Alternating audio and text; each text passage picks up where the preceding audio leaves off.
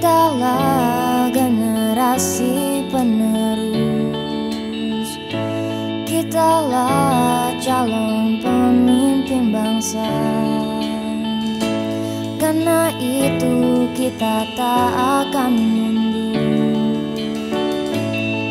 Dan pantang menyerah